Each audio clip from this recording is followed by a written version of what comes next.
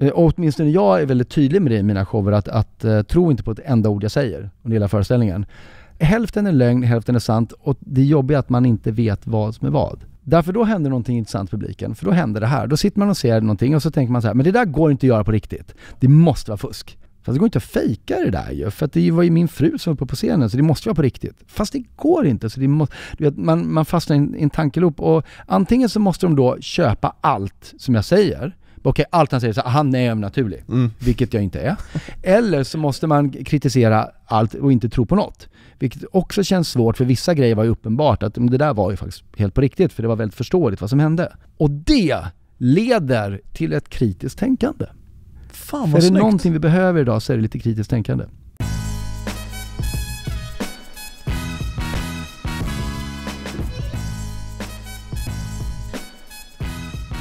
Hallå allihopa och välkomna till Loungepodden. Ännu ett avsnitt, ännu en vecka med mig, Taima Skafari och det värmer något enormt att du väljer att lyssna, vare sig det är första gången eller ja, femtionde gången. Det är ju femtionde avsnittet nu så super super stort tack. Så det enda viktiga för mig är att det inte är sista gången du lyssnar för då har jag ju gjort någonting riktigt fel. Så har jag gjort det, då får du skriva till mig. Loungepodden heter vi på Instagram och jag heter Time på LinkedIn så connecta med mig gärna där och, och ge feedback både positivt och konstruktivt. Hörni, ehm, um, 50 avsnittet som sagt och det är inte vem som helst som gästar, det är Henrik Fexeus, superinspirerande gäst och han kom in här med tok skön energi redan från början till slut. Han går in helhjärtat i allting han gör, vare sig det är liksom klipp man ser med honom på youtube eller man läser hans böcker eller man hör honom i poddar. Och det var exakt det han gjorde här också, så stort tack ska han ha till att han verkligen ger och ger och ger med alla sina tips. För er som inte känner till honom, han är ju tv-personlighet, han har skrivit böcker, han är författare, han är showman, han är mentalist, han är expert inom social kompetens egentligen. Han hade en tuff barndom, eh, kände att han inte riktigt kunde läsa av sociala koder egentligen och på så sätt så blev han liksom Liksom utstött och mobbad. Han kände vad är det jag behöver lära mig? Så han lärde sig så mycket så att jag skulle nästan kanske kunna kalla honom för Sveriges främsta och, och duktigaste inom social kompetens och beteendevetenskap. Även om han inte har det i akademisk grunden som man behöver för beteendevetare så är han liksom, han är ju verkligen en expert inom beteenden. Så vi pratar väldigt mycket om hur man bygger relationer med andra, hur man får andra att förstå en och hur man får andra att tycka, tycka om en och sådär. Jag tar såklart upp kallprat, jag hatar det. Så vi pratar om hur man kommer undan kallprat på typ mingel. Det kanske är andra som känner igen sig. Mingel är ju ganska ofta värdelöst. Eller? Jag vet inte, det kanske är jag som är dålig på det. Men jag kan inte göra någonting annat än att lämna över till vårt samtal egentligen. Och här kommer han, Henrik Fexeus. Henrik Fexeus, välkommen! Tack så mycket. Superkul att ha dig här. Ja men roligt att vara här. Hur är läget? Du kom in med bra energi känner jag Ja här. men nu känner jag att jag börjar mysa till mig lite i de här fåtöljerna och det är lite softljus här inne och heltäckningsmatta så att eh, ja. Du känner dig hemma? Jag känner mig hemma. Det är viktigt, för eh, då kan man fråga djupa frågor Just det. ja, och få djupa svar. Bra. Du, eh, jag har funderat så här hur, hur jag ska presentera dig. Vi kör ju epiteter. Mm. Vad fasen är du? Ja, kan jag få återkomma i frågan? Nej men det där är det där är lurigt, därför de enkla beskrivningarna, det är klart att man kan säga att jag är författare eller föreläsare, men det är ju ganska tomma ord egentligen. Här, föreläsare om vad då? Så här, Författare om vad då? Mm. Ja, och då kan man ju falla tillbaka till yrkesutbildningar och bara nej. Nej men okej, akademiska utbildningar då? Nej, alltså ja, jag har, min akademiska liksom, meritlista är att jag har en fil. kand. i moral och etik. Det är det. Så att, ehm, så att jag har ingen sån här asbra, men, men jag har insett att folk har börjat kalla mig för expert i ordlös kommunikation och det är jag ju. Eh, jag är ju också en mentalist, Mm. eh, en form av psykologisk illusionist. Ja, nyfiken på hur vi funkar. Det kanske är det jag ska ha på mitt visitkort om jag hade något. Det blev jag lite chockad över, när beteendevetare är du inte. Nej. liksom. Och med tanke på hur mycket du kan om beteenden. Jo, men, men det är för att beteendevetare, för att få kalla sig det, så ska du, det är ju en akademisk titel. Jag har inte läst beteendevetenskap till den nivån, alltså är jag inte beteendevetare i titel liksom. Nej, men ändå så kan du faktiskt mycket mer än många som Ja. har den akademiska nivån. Vilket Så är en det är. intressant eh, reflektering av mig själv. Nu höjer jag min reflekt reflektionsförmåga av någon konstig anledning. Ja, Ja. men det är väl bra att du gör. Det tycker jag man ska göra. Om man upptäcker någonting bra hos sig själv så ska man väl lyfta det. Ja, det är fredag, då får man ju skryta lite Exakt. extra, eller hur? Ja. Det är intressant att du bara av ren skär nyfikenhet och intresse och driv har kanske Mm. mer erfarenhet och kunskaper om ämnet än många som går den konventionella skolan så. Men det kommer sig i så fall kanske av att jag från början hade så fruktansvärt lite kunskap. Alltså från början var det en överlevnadsgrej för mig. Därför att när jag var lite, nu ska jag inte så här svartmåla min, min barndom som att, att den var på något sätt tragisk, det var den inte, men jag var väldigt mobbad i skolan. Och eh, jag vet inte, så här, ord som Asperger så fanns inte då, men, men jag hade säkert kunnat få någon form av diagnos på något spektrum någonstans. Men så vad det ledde till att jag fattade inte riktigt de sociala koderna. Jag var ganska kass på att leka med barn många gånger. Jag, men så här, jag höll mig lite för till reglerna, kunde inte improvisera, det var lite för kantigt liksom när jag var med. Lite för envis, lite för besserwisser. Uh, dessutom var min mamma rektor på skolan. Oj. Helt. Nej men så jag åkte på ganska mycket däng Ja. så. Och fattade all, aldrig grejen. Mm. Och jag tror att det föddes liksom någon form av, av tvång nästan hos mig att, att, att fatta grejen, att förstå vad, vad är det? Vad är det de har fattat som inte jag har fattat? Varför slår folk på mig eh, utan att jag förstår det? Och så började jag undersöka det ganska tidigt, redan från gymnasiet och framåt, men utan att tänka på att det var det jag gjorde. Utan det var bara det som drev mig i allt jag var intresserad av. Jag började med amatörteater, först som skådis och sen som regissör. Mm. Och, och vad är det annat än att undersöka, okej om jag ber någon flytta ögonbrynet så här på scen, vilken känsla väcker det hos publiken? Det handlar ju jättemycket om det. Jag blev otroligt fascinerad av marknadsföring, jobbade som informatör och marknadsförare, har aldrig studerat det. Nej. Men, men hade väldigt mycket idéer om hur man så här nådde vissa målgrupper och inte andra. Religion var någonting jag försökte förstå, apropå att få folk att göra det man vill. Liksom. Hur funkar det där? Hur- När man får tusentals människor att bara tycka samma grej. Och så psykologi naturligtvis då, Mm. eh, som ju blev den stora grejen för mig. Men det var alltid bara för min skull. Bara för att jag brann för det. Och sen så hade jag också ända sedan jag var liksom sju haft jag vet inte om det hänger ihop men, men eh, jag var alltid också väldigt fa- fascinerad av science fiction och fantasy. Det där längtan om att det kan, kunde finnas liksom fler färger på himlen än de vi såg. Om det var någon flykt från att, att jag var mobbad eller inte, det har jag ingen aning om. Mm. Jag läste faktiskt en studie nyligen som påstår att man tror gärna att det finns sådana där samband som de brukar sällan finnas.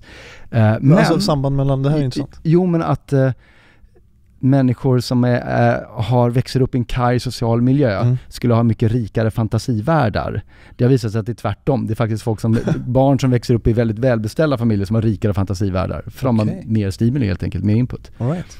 Men, men hur som helst, eh, så jag var väldigt intresserad av trolleri också. Och lärde mig trolla liksom tidigt, för då kunde jag någonting som de andra inte kunde. Mm. Så jag trodde länge att det var det jag skulle bli. Jag skulle bli trollkarl. Så här, Ta ett kort och kolla på mig. Fast det var liksom det var rätt lökigt. Eller jag älskar att titta på trolleri, jag har många vänner som är trollkarlar. Det de gör, jag tycker det är jättehärligt. Men för mig var det så här, nu ska jag göra någonting som jag tycker är lite ballare än vad du kommer tycka att det är. Och så tror jag att vi ska få hångla. Alltså det är världens sämsta så här raggningsgrej, att vara trollkarl.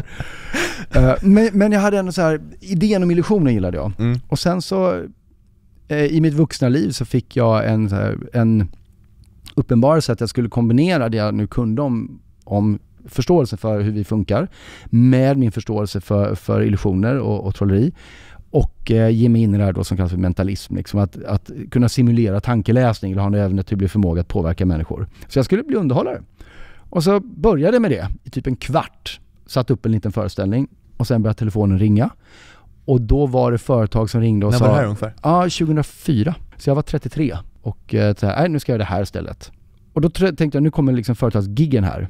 Det var inte riktigt så, utan det var folk som ringde och sa, vi var och såg din show, kul, kan du nu komma och föreläsa för oss om hur vi funkar? Mhm. Och jag sa, men, men nej men, vad, vad, vet inte ni? Jag trodde att alla redan visste de här grejerna. Att det bara var jag som inte var i kapp. Och då förstod jag ju liksom att jag hade inte bara kommit i kapp utan hunnit springa förbi Mm. ibland också. Mm.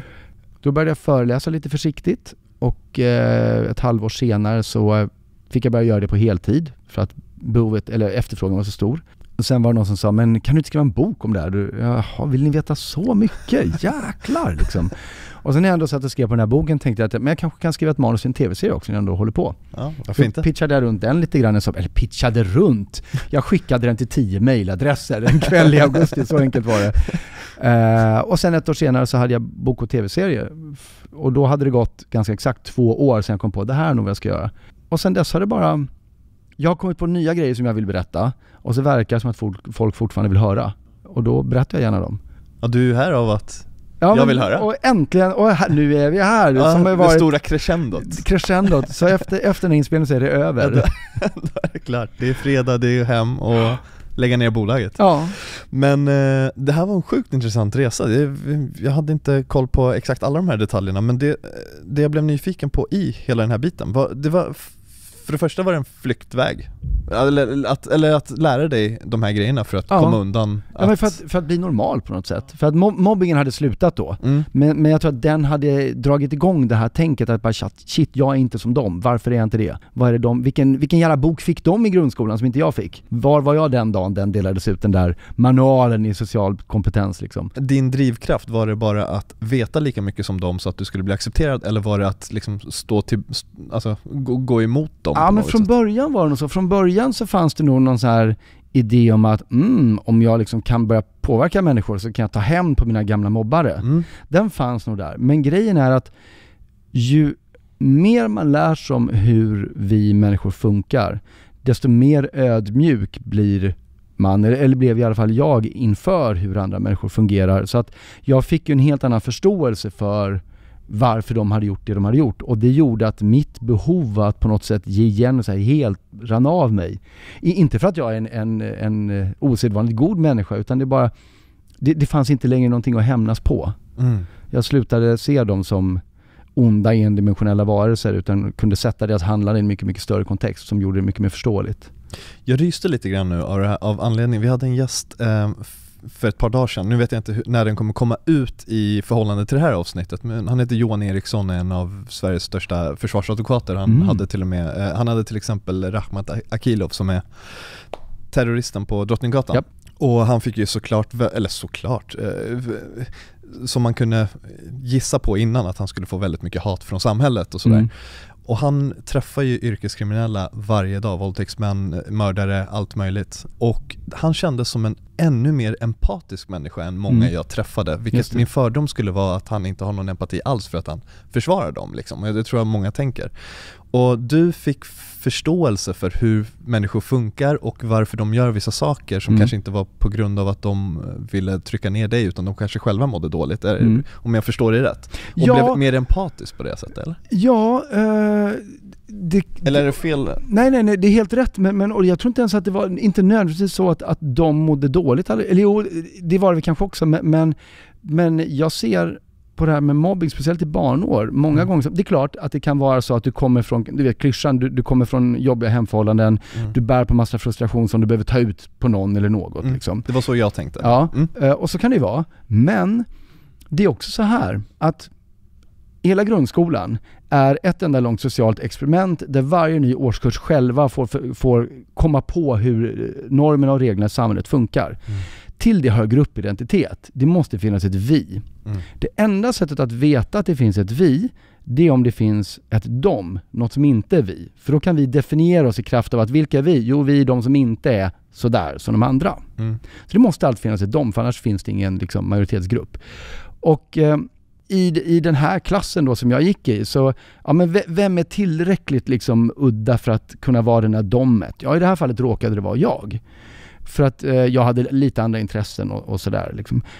Problemet är så här att det här var en väldigt bra klass jag gick i i nio år med väldigt god sammanhållning. Och hjärnan är lite uppfuckad ibland och den gör så att i det här fallet, om det inte är så stor skillnad på vi och dem egentligen, då förstärker vi den skillnaden med flit. Då kanske vi till exempel börjar slå på de där dem. Mm. För att, och då tänker vi så här, jag skulle ju inte slå på den här människan om den här människan inte var en idiot. Jag är ju en smart människa och nu slår jag ju på honom, alltså är han en idiot. Mm. Så att man förstärker den här skillnaden som inte finns genom aggressionshandlingar. Så den här mobbingen var lika mycket säkert bara en mekanism av att min klass eller, eller behövde bygga minisamhället där man behövde definiera majoritetsgruppen. Och när det inte var så stor skillnad på den stod utanför gruppen eller inte så behövde man göra den skillnaden större. Mm. Och den mekanismen finns alltid. Den måste också få ett verktyg. Ja, vem blir det verktyget? Jo, kanske den då som inte har så bra självförtroende eh, eller självbild eh, eller eller lite nervös för att, att jag kanske kommer bli, bli utsatt, jag kommer bli dommet. Den blir mobbaren. Kanske inte ens alltid av egen vilja utan bara som en funktion för gruppens egen definition. Mm. Är du med mig? Absolut. Och, och då, är det liksom, då blir det ju ointressant så här, ah, dumma dig som drog ner byxorna på mig. Alltså det är inte så enkelt. Det blir värdelöst liksom. Det är helt det värdelöst. Ja. Och den personen, du vet också den här klyschan om att mobbarna mår sämre än sina offer Mm. och sådär. Ja men och det är nog mycket på grund av det. Att eh, ett mobbningsoffer, offer, vilket hemskt ord, som alltså blir mobbad, vet i alla fall vem man är. Man är den som blir mobbad liksom och det är fruktansvärt. Men den som mobbar är, är sannolikt många gånger mycket mer osäker på sin egen identitet. För att i samma sekund som man slutar vara verktyget för gruppen så har man ingenting utanför det och då Mm. kanske man hamnar utanför. Mm. Och det vill man ju inte liksom. Nej. Så att det är nog mycket mer osäker tillvaro många gånger. Otroligt intressant det här. Sen kan jag ha helt fel i det här. Men det här är, det här är min, eh, min idé om det. Det, det, det låter rimligt, allting du säger, så vi säger att det är rätt. Ja, Ehm, jag. Vi spikar det. Som du säger, det är ju fredag. Ja, exakt. Nej men jag, jag, det, det är faktiskt eh, ett, ett eh, hälsosamt sätt att se på det. Eh, jag uppskattar verkligen när folk tycker väldigt mycket och, säger väldigt mycket men sen, det kan vara annorlunda också. Ja, Man vet ja aldrig. men man måste alltid hålla dörren öppen. Exakt, för du har någonting som du pratar om ganska ofta som vi verkligen ska gå in på som Mm. heter förändringsblindhet som är sjukt intressant. Mm. Ehm, men vi pausar den eh, bara, för jag tänkte på en sista grej för att läm- lämna mobbingdiskussionen.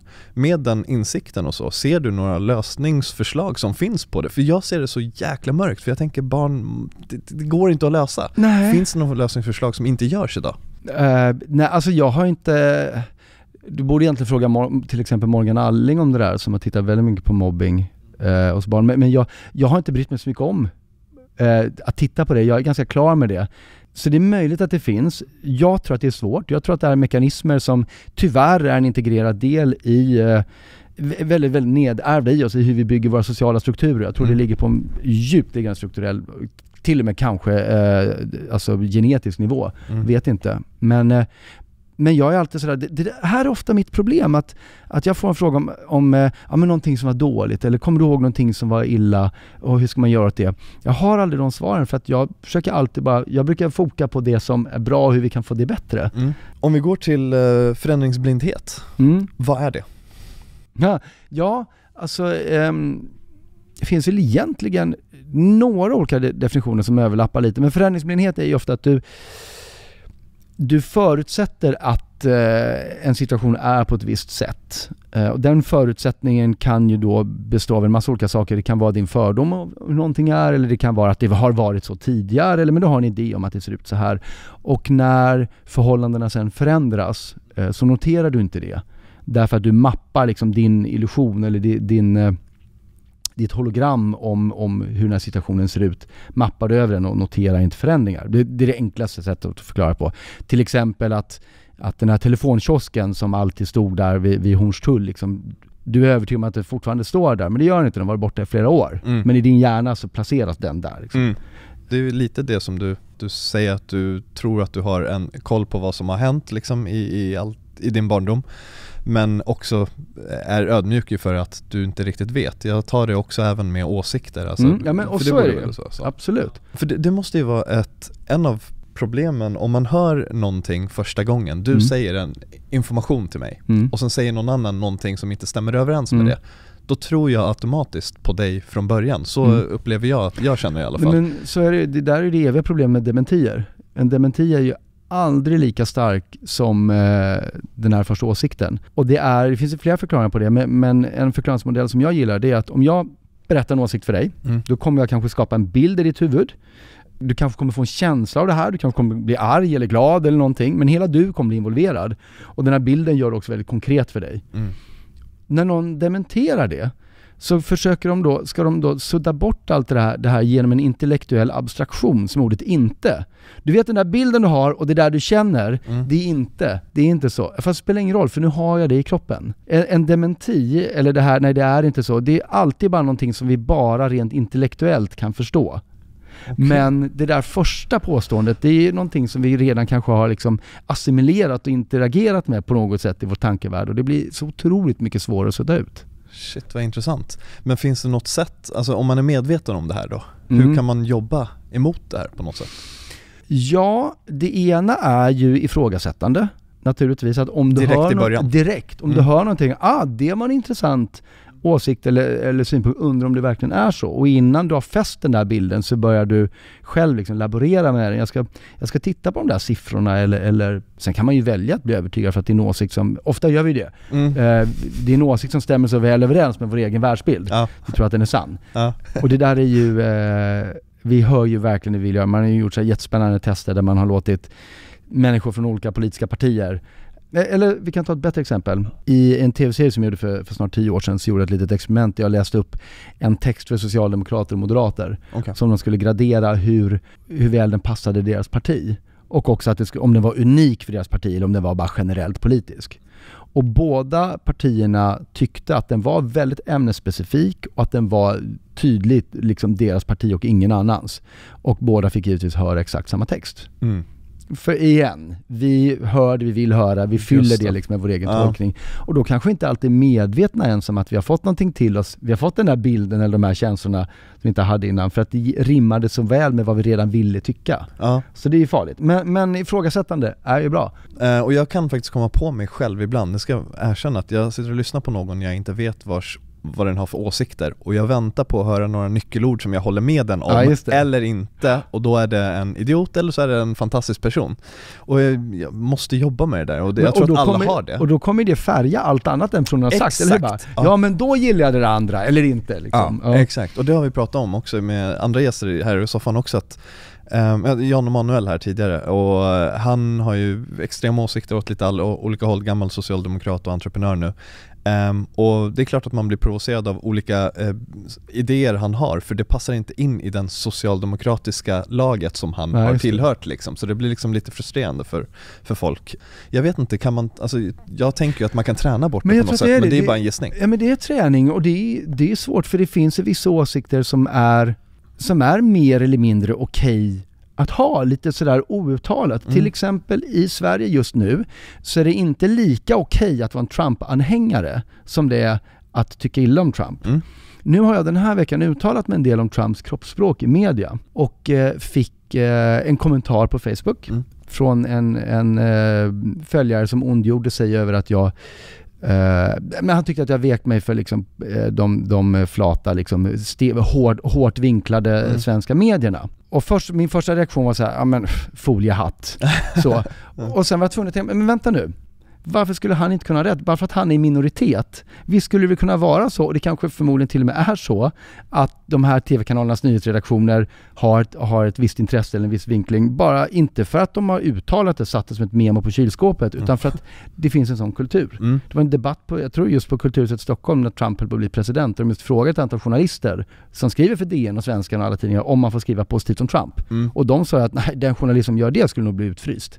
Så här har vi en konsensus. Mm. Men då kan man ju tvinga sig att tänka så här, men okej, nu ska jag liksom inte, här har jag en förutfattad mening plötsligt. Nu ska jag öppna den här dörren. Och, och då kan man ju, man kan ju vara djävulens advokat. Man, det bästa man kan göra är att komma på argument till varför man själv har fel. Mm.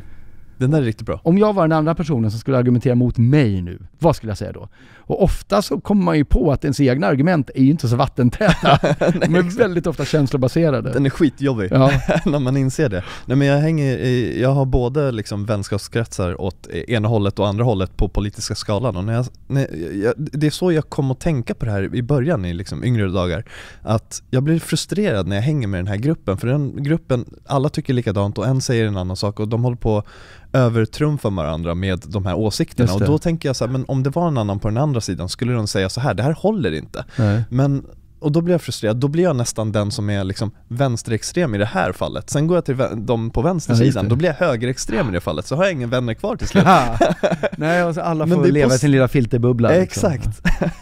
Nej men den där är intressant hur man kan jobba med det, så jag tar med mig två tips. Försöka vara djävulens advokat och i första första fallet när man får information att eh, ifrågasätta så Ja. mycket man kan. Och ifrågasätta låter lite, det kan låta lite hårt, men det handlar inte om det. Det handlar mer om att, att, att ha ett, en, en intress, ett intresserat förhållningssätt skulle jag vilja säga, till det man hör. Mm. Det för ifrågasätta, det låter som att nej det är något fel, det är inte det jag menar. Utan bara kolla upp det, ta reda på. Mm. Du har pluggat någonting som heter praktisk filosofi, vad fan Ja. är det? Ja, men då är det så att jag vet inte om de gör det längre, men på Stockholms universitet så delade man upp filosofi i praktisk filosofi och teoretisk filosofi. Mm. Praktisk filosofi var moral och etik, teoretisk filosofi var typ allt annat. Okej.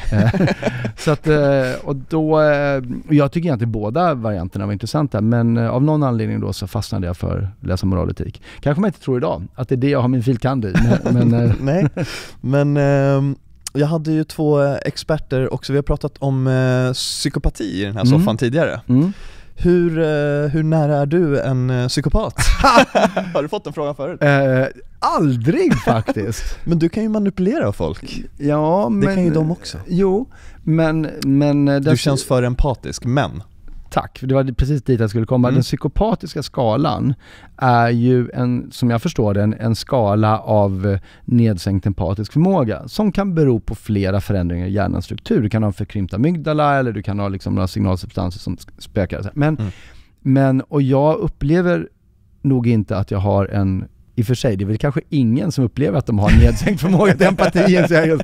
Jag, kommer inte ur min egen filterbubbla här, men, men nej, du, du, jag måste bara klargöra att det var ett skämt Ja, exakt, ja, men det är en bra fråga. sagt Det är en väldigt bra fråga. Ja. Men, eh, nej men så här. Jag försöker ju att i allt jag gör i alla mina böcker, speciellt om det handlar om just eh, kanske till och med styrande tekniker, förklara att allt det här ska användas för att bygga goda och nära relationer till andra människor. Det är bara det att samma tekniker som vi använder till det kan vi sen också missbruka. Men Mm. det är verkligen ingenting som jag förordar. Det förstår jag helt och hållet. Och eh, det jag fick lära mig där var att en psykopat reflekterar aldrig över att den är psykopat. Så har du reflekterat över det Jag någon vet inte, men det, eller, eller sa de det i den andra? Ja. ja, ja, ja okej. så, ah. så har du reflekterat över någon? Aldrig. Nej, oj jävlar. Nu stänger vi igen.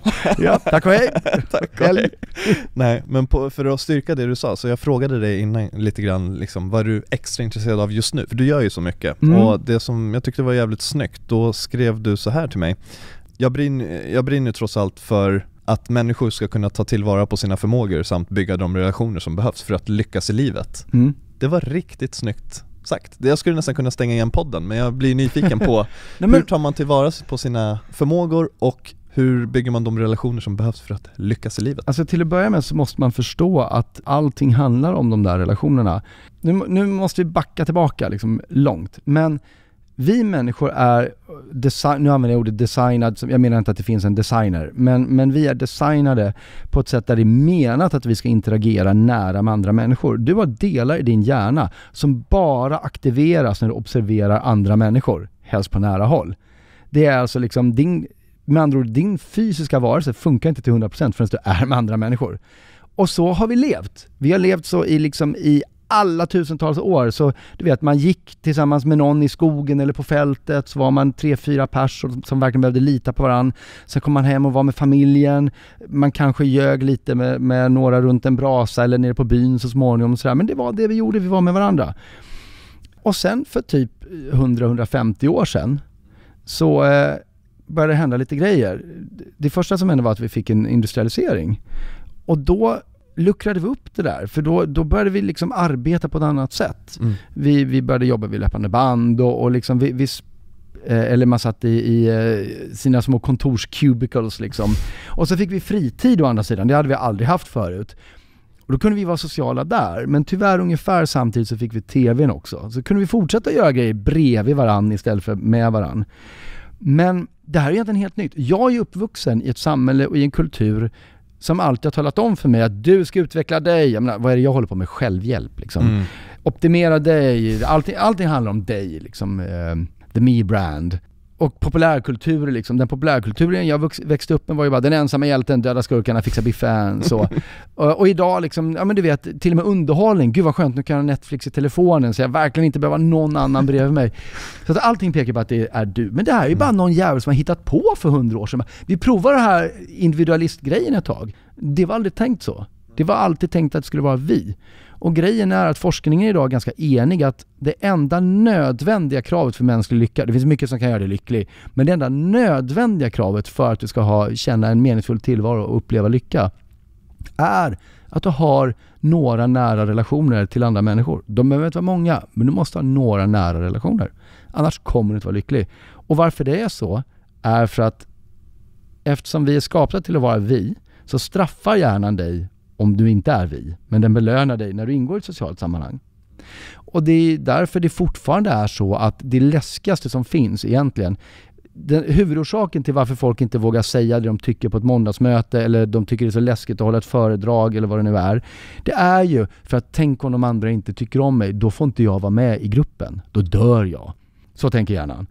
Eh, så allting handlar om det här viet. Vilket innebär att, för att komma tillbaka till din fråga, om vi ska kunna ta tillvara på våra resurser ordentligt och våra förmågor, så behöver vi först och främst förstå att vi inte kan göra det i ett slutet liksom, e, rum, utan vi behöver göra det tillsammans. Vi behöver använda varandras resurser och förmågor att ta oss dit vi vill komma. Det är ett mycket smartare sätt att göra det på än att försöka göra allting själv. Även om jag älskar att göra allting själv så försöker jag lära mig det här hela tiden. Så det är det ena, man, man måste fatta det här och ett sätt då man kan börja bygga de här relationerna är ju att till exempel se över eh, sina kommunikativa plattformar. Därför att för varje, varje steg liksom ifrån någon du tar, desto mindre kommunikativa redskap har du att arbeta med. Om man pratar med någon som du och jag sitter nu, i samma rum, ganska nära varandra, då har vi tillgång till varandras ord. Vi har också tillgång till våra eh, vår talhastighet, vårt tonfall, våra ansiktsuttryck, vår kroppshållning. En otrolig mängd subtila och osynliga signaler som vi skickar fram och tillbaka till varandra för att förstärka och förtydliga vår kommunikation. Och också bygga en relation eller eh, försvaga en relation mellan oss två. Pratar du bara i telefon med någon, ja då tappar du ju liksom väldigt mycket av det, men du har fortfarande kvar alla kvaliteter som finns i rösten. Skriver du ett mess eller ett mail till någon, då har du ingenting förutom själva orden och det, jag kan garantera dig att den som läser ditt meddelande kommer inte riktigt tolka det på samma sätt som du hade tänkt att de skulle göra när du skrev. Mm. Så det man kan fundera på är ju då om jag, om jag har tänkt mejla den här personen, hinner jag ringa dem kanske? Om jag har tänkt ringa någon, kan jag kanske träffa dem fysiskt? För varje steg närmare man kan komma, desto bättre kommer kommunikationen och banden bli. Och det här är ingen så här flummig, eh, alltså man gör ju kvantitativ forskning på MIT om det här idag. Där finns en forskare som heter Alex Pentland som har identifierat fem stycken som man kallar ärliga signaler. Som är sådana som sker helt ordlöst, uh, men som är mätbara. Och där han med, med 100% säkerhet, genom att bara iaktta eller mäta de här signalerna, kan avgöra om någon kommer vilja gå på en andra dejt, om någon kommer få löneförhöjning eller, eller få ett jobb överhuvudtaget. Wow. Uh, I ett möte mellan två personer. Och alla de där grejerna, vi är menade att använda dem, men vi tappar dem när vi liksom inte är viet. Eh, och sen handlar det ju, det andra pusselbiten i det här är ju då det du har inneboende.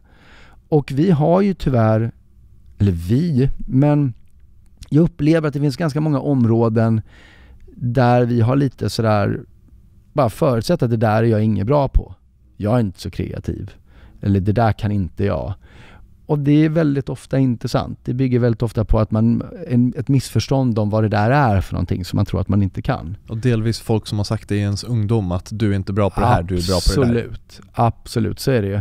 Sen är det naturligtvis också så att jag tycker att det är smartare, ett smartare sätt att ta tillvara på sina resurser att, att utveckla det man vet att man är bra på än att kämpa med det som man genuint inte riktigt klarar av. Det finns ju alltid någonting vi aldrig kommer vara riktigt lika bra på. Mm. Men har man några områden där man känner att, men det här, det här verkar vara en vettig förmåga, så ska man inte vara rädd för att försöka utveckla den, för att man kommer ju alltid bli bättre än man var innan och det i sig kan, kan vara värt någonting. Mm. Om inte annat bara för att få en, för, som, som vi pratade om innan vi startade, för att få en bättre förståelse för andra människor som gör samma sak. För då har du lättare för att sätta dig in i deras tillvaro och kan kommunicera med dem på ett annat sätt. Vilket skapar ett närmare band mellan er. Mm. Ja, det är riktigt bra. Det är många som säger fokusera på dina styrkor och, mm. och glöm lite grann de svagaste svagheterna som mm. du har. Eh, men det var ju en av dina absolut svagaste svagheter som du faktiskt har blivit kanske bäst i Sverige på.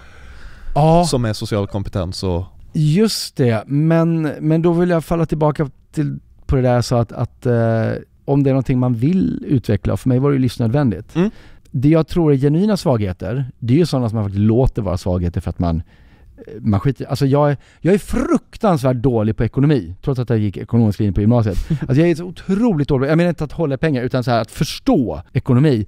Men jag, vet du vad, jag tänker inte skaffa mig den förståelsen heller. Utan jag betalar en person att förstå det åt mig istället, så mm. blir jag lite gladare. Sen är jag också väldigt dålig på att sjunga. Eh, jag tog sånglektioner i två år. Det hjälpte ingenting. Vill du bevisa? Eh, att jag är dålig på att sjunga? Ja, Nej, det men, tror inte jag på. Testa. men vet du vad? Det är faktiskt så här, och nu ska jag säga någonting som jag inte hade tänkt säga. Eh, för att, oh det här är väldigt under radarn. Jag har under, under hela mitt liv också tyckt om musik väldigt mycket. Jag är inte så musikaliskt begåvad, men jag tyckte om att hålla på med musik. Jag jobbade som DJ och, och spelade i ett band på 90-talet och sådär. Mm. I höst, det här kommer leda till sång. Eh, eh, i, i, I höstas så satt jag och skrev del tre i en eh, sci-fi trilogi som jag har skrivit som heter Den sista illusionen. Och då var jag i, i skrivande fasen i en del där jag behövde liksom analysera väldigt noga allt jag hade skrivit. Är det här tillräckligt bra? Ska jag byta på det? Det var väldigt, väldigt analytiskt, inte så kreativt. Och jag kände liksom, jag måste få utlopp för någonting. Så vad jag gjorde var att på kvällarna när jag var i den där skrivprocessen, jag gick hem och så, eh, och så bara gjorde jag musik för mig själv. Och, vi, och så satte jag upp några regler och det var att de här låtarna, eller det var ett jam mer än en låt, fick aldrig, efter en kväll var det tvunget att ta, ta slut. Nästa kväll fick jag börja på någonting annat. För att eh, aldrig, för då behövde jag liksom bejaka alla impulser. Jag kunde inte sitta liksom, är det här tillräckligt bra? Jag ska ändra det där lite. Utan bara, bonk, bonk, oj det blev sådär, ja då kör vi det. Det var bara att säga ja till allt. Det var en otroligt rolig och kreativ process, bara för mig. Och, och också för att bara, du vet, det behövde inte bli ett slutresultat, det var bara processen som var intressant. Men! Sen var det då vissa av de där grejerna som jag ändå bara, men det här är inte så tokigt. Så att jag gick tillbaka och slutförde ett antal av de där låtarna. Och så tänkte jag att någon kanske, det finns ju många författare som släpper Spotify-listan som de lyssnade på när de skrev en bok. Jag tänkte, fan jag gör tvärtom. Jag släpper, det här är musik, det här är hur det lät i min hjärna när jag skrev. Men ta det lite lugnt för det, är inte, det här var inte tänkt för konsumtion. Så att om ni är intresserade av hur det låter i min hjärna, det låter så här. Så släppte jag det som en eh, EP på Spotify och Apple iTunes för en knapp månad sedan. Och väldigt så här, jag la bara ut det på sociala medier för att jag ville liksom inte att någon tidning skulle lyfta upp så här, Fexeus nya karriär, vem tror han att han är? Alltså, det var inte det. Det här var bara så här, för de som, för de som skulle gilla grejen. Paler kallar jag mig för, så att det inte ens under mitt namn, utan Paler, som är blekare. Okay. Och det, det kommer från att tydligen så, jag har inte sett det själv, men tydligen så, det finns något tv-klipp från Wahlgrens värld där Bianca Ingrosso ska vara stand-in för Filip och Fredrik i Breaking News och då ska hon nämna superkrafter som folk har och då finns det tydligen ett seg segment när hon, när hon tränar på att säga att Henrik Fexeus superkraft är att vara så blek så att hans mjölkmustasch inte syns. Jag, inte, jag har inte sett det här själv, men därav, därav kom Paler. Ja, ni kan hitta det på youtube Ja, säkert. säkert. Eh, men, men nu har jag ju då skrivit inte på den här boken. Mm. Så nu börjar det här musikprojektet föra ett litet eget liv, för det fortsätter. Så jag har precis, den släpps den 25, nej, 15 eller 25 februari, jag kommer inte ihåg vilket det är, Okej. så släpps en, en singel som är den första, eller singel, en låt, eh, som är den första cover jag har gjort och också det första vokala. Så, där, var det. så att nu kommer det alltså finnas internationell distribution på en låt där jag sjunger. Och igen, jag Snyggt! kan verkligen inte sjunga. Men eh, man kan fuska. Men kan ni ge oss ett, eh, ett litet för, eh, för, vad heter det? Nej det, nej, det blir så jävla pretto, det kan jag inte göra. Man får leta upp, eh, man får leta upp Paler på Spotify eller Apple Fasen. eller någonting Ja, annat. Gå in på Spotify och troligtvis till eh, när den här podden kommer ut så finns den på Ja. Spotify. Snyggt! Där är också en eh, svaghet då som du jobbade på. Ja men för att så här, man som jag man kan ha en svaghet som min, mitt ekonomiska tänkande bara, pff, skit i det. Men det är livsfarligt att ha svagheter som blir demoner. Att man blir rädd för någonting. Mm. Det är, det är inte bra, för då begränsar man sig själv. Eh, jag hade ju en som jättedemon, så att sjunga var ingen superdemon. Att dansa däremot har varit en jättedemon för mig. Därför att eh, i och med när jag var liten, alltså när man blir mobbad då, då känner man sig sjukt iakttagen hela tiden. Eh, och, och om du inte är den coola killen så ska du inte tro att du får dansa på mellanstadiet i discot liksom o, o, ostraffat. Så jag var ju killen som aldrig dansade, vilket innebär att jag inte har den, jag vet inte hur man gör, för att jag har liksom inte tränat in det. Jag har inte det, det grundförtroendet. Det var ju därför jag blev DJ, för då får man vara på festen utan att dansa. Mm. Men då, så förra sommaren så, så gifte jag mig och då var det så här, ja men då kommer vi behöva dansa. Ja men då får vi fan, då får vi lika gärna göra det ordentligt. Så då ringde jag mina vänner som heter David och Malin Watson som är två koreografer som brukar jobba med Let's Dance. Bara, Gör en dans till oss, Oj. Ja. nu kör vi. Så att, På eh, den nivån? På den nivån. Ja men jag tycker det. det om man en, så här, mitt bästa sätt i alla fall att spräcka demonerna, Ja. det är liksom att inte så här, ah, jag kanske ska gå en buggkurs bara. Nej, du anmäler till en bugguppvisning liksom. bara crash and burn, det gör inget för det kostar inget. Nej. Det, I värsta fall så blir man lite generad. Men värre än så blir det inte. Det blir sällan värre än så. Och vet du vad? Det, folk kommer inte bry sig om en, två veckor. Nej, För det är ingen arrogant som- att tänka så liksom. Det är ingen som kommer ihåg det. Nej. Faktum är att när du är på den där bugguppvisningen så kommer de andra där mest då så här fundera på om de behöver gå på toaletten, Mm. eller fundera på om de ska dansa sen. Alla går omkring och tänker på sig själva, det är ingen som tänker på dig. Exakt. Den där är bra. Jag gillar tipset, om man ska göra det så gör det på riktigt, eller Ja. så skit i det. Ja. Och jag tänker att vi ska komma tillbaka, du ska få lämna några riktigt bra tips, för de vet att du har, om hur till exempel människor som i en grupp inte vågar ta plats, vare sig det är liksom ledningsgruppsmötet där man sitter och är väldigt tyst eller om det är i i fotbollslaget eller vad fasen det Mm. nu är. Men Mm. jag tänker att vi kommer dit lite Japp. senare. Jag skjuter upp lite grejer här men det är bara för att ni ska fortsätta lyssna. och eh, det kan hända att Henrik Fexeus kommer sjunga lite grann i slutändan. Man vet vi, aldrig. vi får se hur bra jag är på att manipulera här. Men på tal om då manipulation, så Mm. du är ju en mästermanipulerare. Och tillbaka då till att lyckoforskning visar att man behöver nära relationer för att vara glad. Hur får man andra att gilla en? Mm. Världens största fråga. Eh, Ja det är ju det, det är ju den heliga graalen på något sätt, eller hur? Vi har ju några grundverktyg för det där. För det var ju det det handlade om när vi började bygga liksom våra första samhällen där vi kunde dra nytta av varandras resurser och kompetenser. Så insåg vi ju, verkar som, kanske till och med innan, innan vi var färdiga människor, att vi behövde också bygga de här samhällena av människor som vi som hyfsat pratade samma språk med, alltså bildligt talat, vi delade samma grundvärderingar, samma förståelse av världen och det är det vi kommunicerar till varandra när vi tycker om varandra. Att ja, men jag är lite som du är. För det är det vi gillar. Den människan vi gillar mest av allt i hela världen, det är oss själva. Och det är så sjukt, alltså jag brukar ställa den frågan varje gång jag föreläser. Vem tycker vi mest om i hela världen? Det är typ en på hundra som vågar svara. Alla andra har någon sån här jante på axeln, bara, nej du får inte vara narcissist. Men vad fan, det finns bara en enda människa i hela kosmos, eller en enda varelse i hela kosmos som vi kan känna från insidan. Och det är oss själva. Allt annat som existerar kan vi bara iaktta. Då blir det en distansering. Men jag, nu menar jag inte att vi älskar oss själva varje dag, det gör man kanske inte. Men vi står oss själva närmast. Men av det följer ju då att, och det här visar all forskning också, att, att det vi tycker näst bäst om i hela världen, det är ju folk som liknar det som vi tycker mest om. Folk som är som oss. Och sättet är alltså att bygga relationer. Och det här kan låta så här sjukt manipulativt, men det är inte det. För det här är vad vi gör när vi inte vet om att vi gör det. Sättet att bygga relationer, det är att jag visar för dig att jag är ungefär som du är. Det här kan man göra på väldigt många plan. Det ytligaste planet, och som också är det lökigaste planet, det är det här bilsäljarknepet när, ja men du vet, en, en kund är inne och tittar på en bil, säljaren ser att han har en bandtisha, bara ah du gillar också, jag var på deras förra konsert. För då har man någonting gemensamt och så bondar man lite liksom. Och, men grejen är att det funkar. Allt relationsbyggande handlar egentligen om att kommunicera det på olika plan. På det ordlösa planet gör man det genom att man anpassar sig efter varandras rörelsemönster, varandras tempo i hur man pratar och, och, och rör sig. Man delar åsikter och värderingar. Så att det, det är liksom grunden i det. Sen är nästa steg förstås i, i att vårda den här relationen, det är att, ah, det låter klyschigt, men att vara en duktig lyssnare. Faktiskt. Därför att, jag sa ju förut att alla människor går omkring och tänker på sig själva. De flesta människor gör ju tyvärr det även när andra pratar med dem. Och sen, så här, många samtal verkar gå ut på att det är två personer som väntar på att den andra ska få hålla, ska hålla käften så att de kan börja prata om sig själva. Ja. Jag brukar tipsa folk om att lä- lägg, så här, lägg lite tandpetare eller tändstickor i en ficka. Och sen så under en dag, eller under ett samtal, så varje gång du börjar en mening med ordet jag, så flyttar du över en tändsticka och kolla liksom hur lång tid det tar in- innan alla är Intressant. över. Mm. För det tar inte alltid så lång tid tyvärr. och det är så här, det finns vi, jag är lite orättvis nu, men vi, vi är ju alla huvudpersoner i filmen om vårt eget liv. Just eftersom vi bara känner oss själva inifrån, så blir vi ju viktigast i världen. Eh, och det tror jag gör att vi tror att alla andra tittar på oss mycket mer än vad de gör och bryr sig om oss. Det, du var inne på det själv lite förut, där kanske det spotlight-effekten. Om man då kan ge någon det lite, så här, ja, men ja, jag ser dig nu och jag lyssnar på dig, då kommer jag ju bekräfta din tes om att du är viktigast i världen. Vilket kommer göra att du kommer tycka att jag är en jävligt smart typ, för du vill ju bli omtyckt av smarta typer. Mm. Alltså förvandlar du mig till en sån. Du Exakt. vill ju inte bli omtyckt av dumma typer. Nej nej. Nej.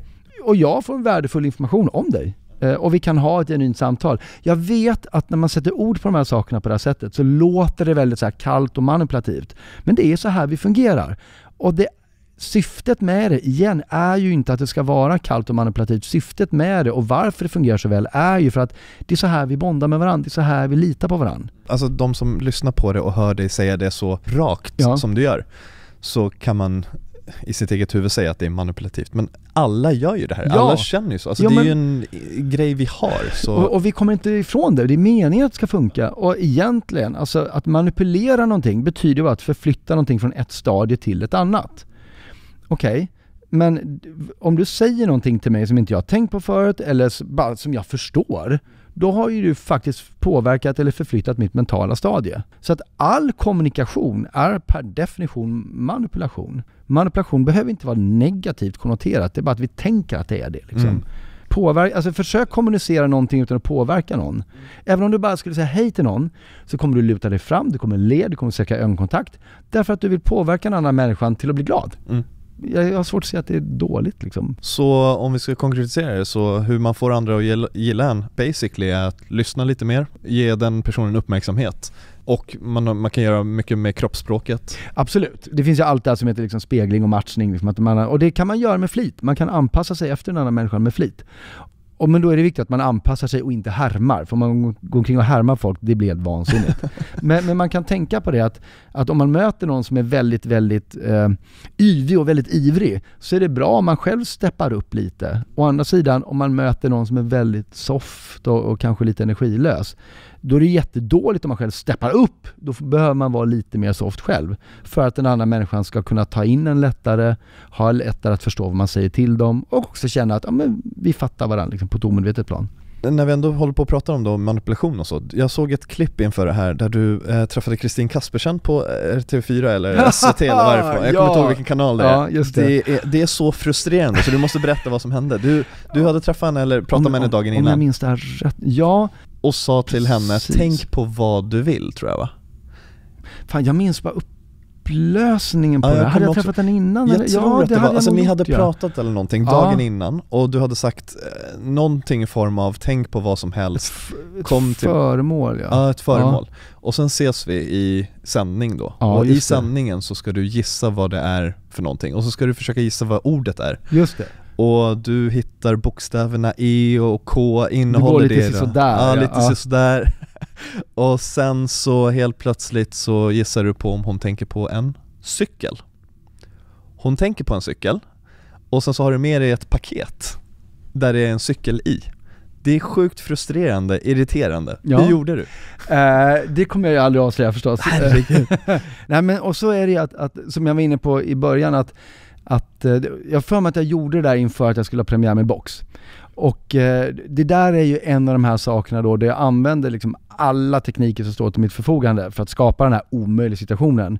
Och eh, jag blandar och ger. Jag, jag använder mig av, av psykologi men också liksom av eh, eh, vad vet jag, rent tjuv och rackarspel eller liksom när jag står på scen, då är det ju liksom en situation där jag kan kontrollera varje variabel på ett sätt man inte kan göra i verkligheten. Men nyckeln till det är ju att ingen ska förstå hur det går till, framförallt inte Kristin Kaspersen själv. Ehm, så, Men alltså eh, det, det, nu med internetåldern så känns Ja. det som att alla borde kunna, bör, borde kunna ta reda på det här på något sätt. Men ändå så är Ja. det ingen som vet, det finns tv-program om det här, du, gör ju, Ja. du bygger ju shower på det. Alltså vad, vad, vad är i alla fall grunden i det? Det är psykologi och det är manipulation. Ja, och, och i ment, alltså så här, mentalism är ju en illusionsform. Det började med att man tittade på hur, hur gamla medier vid sekelskiftet fuskade. Och sen använde man samma fusktekniker själv. Och så sa man att eh, jag har också en, en, en, en psykisk, jag står också i kontakt med andar fast det är bara underhållning. Och det där svängde liksom fram till 70-talet och, och sen så blev den här liksom övernaturliga vinkeln på det själv dog lite. Ungefär samtidigt så började man säga att vänta, en hel del av de här, vad medierna höll på med var att de var faktiskt också väldigt duktiga människokännare. Liksom. Mycket av det här som vi använder kanske trolleritrick eller fusk att göra, eller som de gamla medierna fuskade sig till, eh, går att göra med ren psykologi. Eh, och då blev jag och några andra med mig liksom väldigt intresserade av det här och skapade en, en ny form där vi blandar så att en del av det vi gör är rent lurendrejeri. Det kanske liksom är att vi, vi lånar tekniker från ren trolleri. Okay. Ibland är det ren psykologi, ofta är det en blandning. Men det kittlande är att, eh, och åtminstone jag är väldigt tydlig med det i mina shower, att, att uh, tro inte på ett enda ord jag säger under hela föreställningen. Men, men eh, det är, ungefär- så det är ungefär hä- hä- hälften är lögn, hälften är sant och det jobbiga är att man inte vet vad som är vad. Mm. Därför då händer någonting intressant för publiken, för då händer det här. Då sitter man och ser någonting och så tänker man så här, men det där går inte att göra på riktigt. Det måste vara fusk. Fast det går inte att fejka det där ju, för att det var ju min fru som var uppe på scenen, så det måste vara på riktigt. Fast det går inte, så det måste, vet, man, man fastnar i en, en tankeloop och antingen så måste de då köpa allt som jag säger, Okej, allt han säger så han är övernaturlig, Mm. vilket jag inte är. Eller så måste man kritisera allt och inte tro på något. Vilket också känns svårt, för vissa grejer var ju uppenbart att det där var ju faktiskt helt på riktigt, för det var väldigt förståeligt vad som hände. Och det leder till ett kritiskt tänkande. Som man Snyggt. tar med sig därifrån. Jag får ju ofta mail från folk eh, mitt i natten som har varit och sett mina shower. Bara, Klockan är tre på morgonen, jag eh, ifrågasätter allt runt omkring mig just nu, jag kan inte sova. Bara, ja, grattis. Fan För är vad det snyggt. någonting vi behöver idag så är det lite kritiskt tänkande.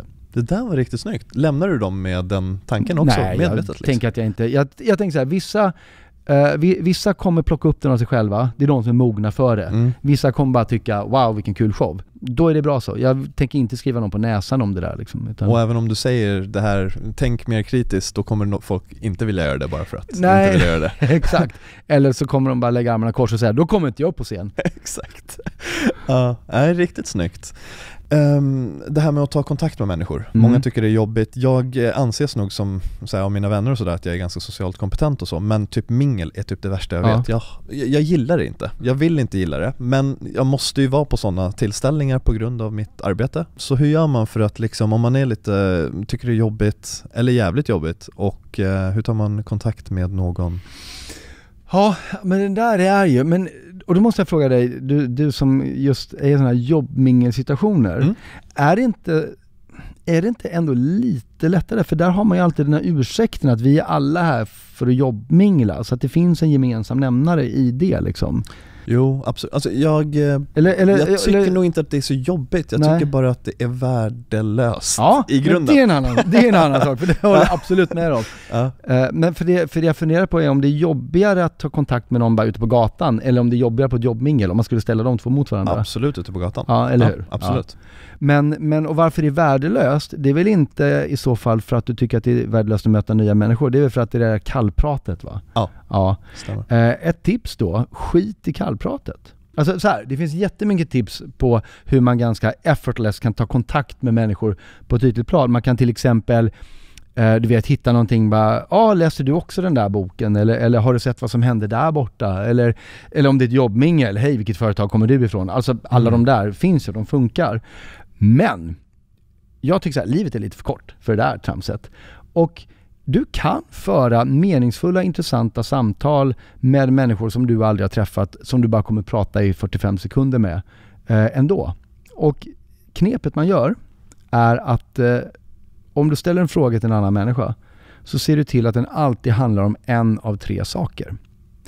Eh, alla tre kommer basera sig på den andra personen, så det är bra om du har lite förinfo om dem. Men eh, du ser till att antingen fråga om deras eh, motivation och drivkrafter, eller om deras personlighet, eller om deras känslor. Det låter kanske lite, lite abstrakt, men jag ska försöka komma på något exempel. Men vad jag menar är, ja men så här. Tycker Om, om du och jag möts på ett mingel, Mm. och så eh, får jag veta, eller, eh, och så har jag, har jag, av någon anledning har jag fått veta var du har vuxit upp någonstans. Var, var har du vuxit upp någonstans? Uppsala. I Uppsala. Vad är den tråkigaste frågan du får när folk vet att du är från Uppsala? Valborg eller cyklister? Ja, eh, och så tänker de att det är lite roligt då. Ja. Men, men eh, jag skulle ju kunna fråga dig istället, Uppsala är ju liksom, det är en väldigt akademisk stad, känner du att det har påverkat dig som pe- person att växa upp i en sån miljö? Du, du behöver inte ens svara på det, men jag har ju frågat dig om någonting om din personlighet. Mm. Det är en mycket intressant fråga, det är mycket roligare att svara på. Eller, eller, eller jag skulle kunna fråga eh, hur det kändes att växa upp i en sån miljö. Du har frågat om dina känslor. Eh, jag skulle kunna fråga dig eh, efter ett möte istället för att säga bara, om, vi, om vi, vi har det här minglet, vi kanske, du och jag jobbar på samma, inte på samma avdelning för vi känner inte varandra, men, i samma hus eller någonting. Så bara, du är på, på konferensen innan, många frågor du hade. Det är en kallpratsgrej liksom, också värdelös. Mm. Men jag skulle kunna säga, du jag noterar att du hade väldigt mycket frågor där. Är det, är det där ett ämne som, som du brinner för? Då har jag frågat om dina drivkrafter och din motivation. Mycket mer intressant. Och mycket mer intressant för mig att lyssna på. Så det är ju ett enkelt sätt att komma undan det här kallpratet. Fråga om motivation och drivkraft, personlighet, känslor. That's it. Klockrent. Det, och det är ett av mina favorittips kan jag säga sen det här senaste året. Som, sen, sen är det ju så att det blir jävligt nära direkt. Mm. Och ibland kan det kännas att man, att man kommer lite för nära varandra på en gång. Liksom man får kalibrera det lite. Men Precis, det är nog det som många är rädda för också och eh, man ska ändå vara där så kort tid så då tänker jag så här, jag, jag, jag är hellre skiter i kallsnacket än att liksom Ja. bli den här weirda personen som Ja, just det, pratar som om bara står med en person. Nej men det behöver man inte göra. Eh, för, och det går ju utmärkt att avbryta det där också. Genom att bara säga, man, man gör en Churchill, man, man ställer sig på samma sida, man säger bara Men du, shit, vi är ju ändå på ett mingel. Vi tar varsin vända så kanske vi ses eh, sen.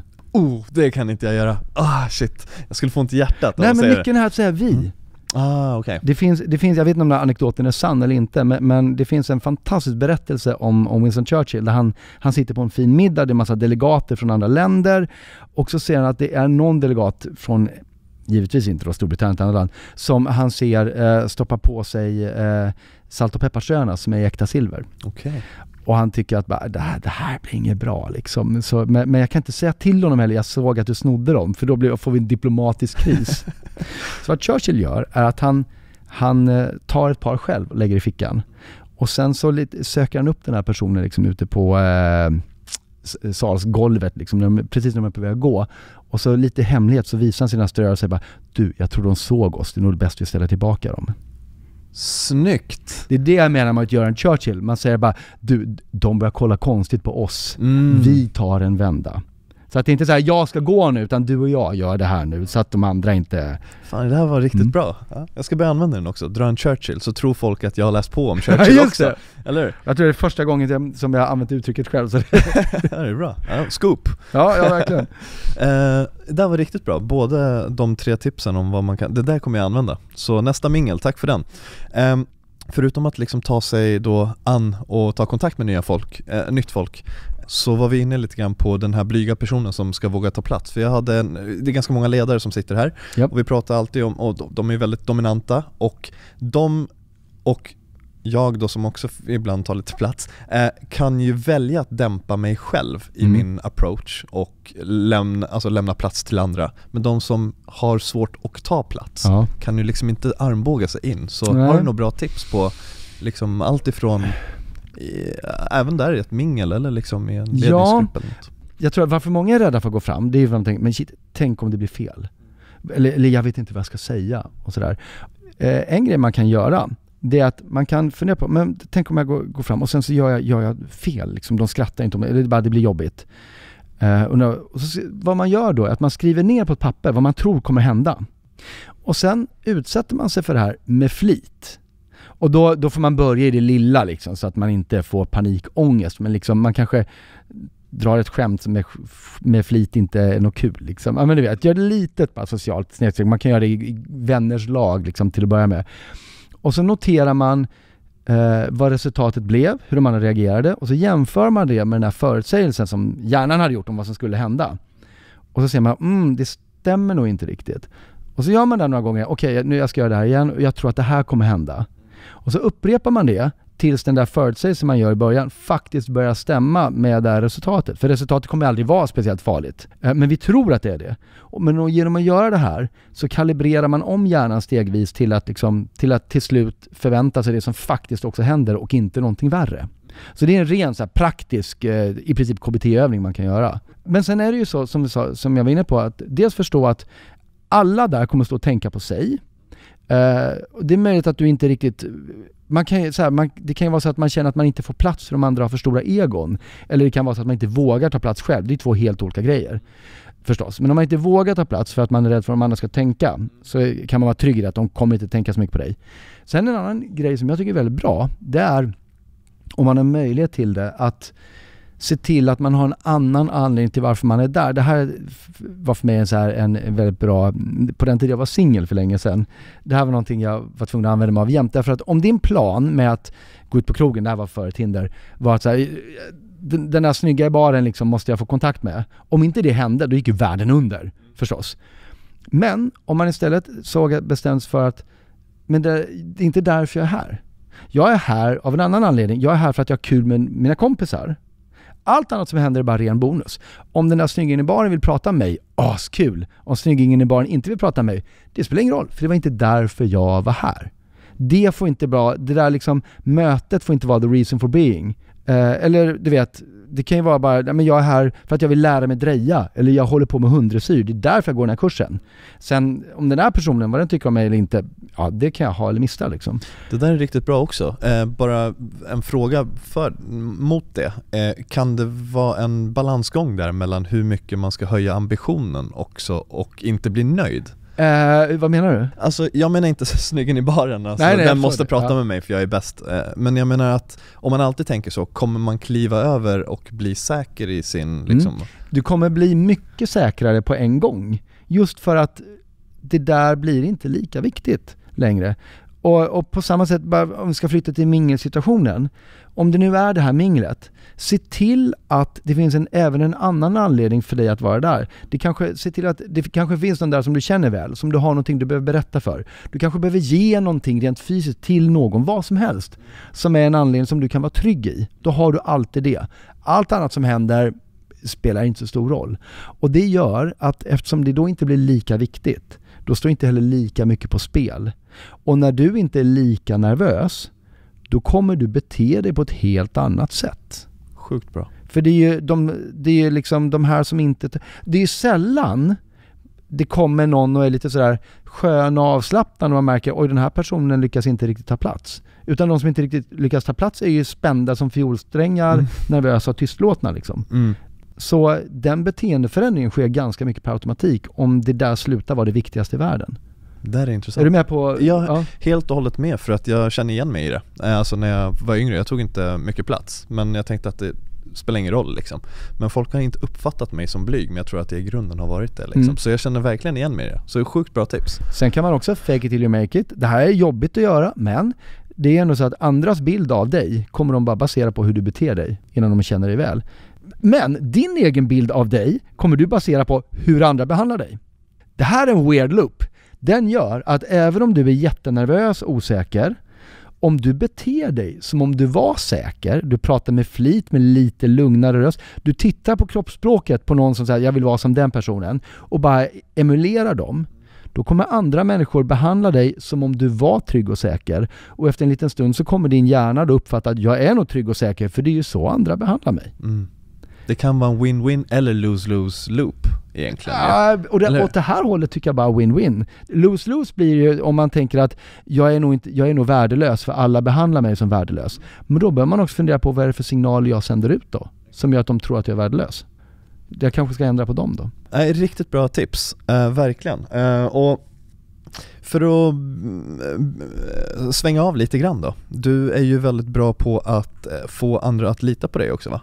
Är jag? Jag vet inte. Ja, jag vet inte. Det- Det, jag- det är inte för mig att säga tror jag. Nej. Men, men, eller vad tänker du? Ja, men jag tror att eh, du rent, ehm, det här kanske blir weird, alltså jag tänker Men du får ju liksom andras förtroende bara att du går upp på scenen och eh, de står där och litar på sakerna du gör Mm. Hur får du dem att, Ja men det, men det, jo men jag, i den kontexten så är det någonting som jag jobbar stenhårt medvetet med i scenmiljön. Därför att det är ju ändå så att Å ena sidan så mina shower helt och hållet bygger på att folk kommer upp på scenen. mm, Eh, För att annars har jag ingenting, allting handlar ju om min interaktion med andra människor.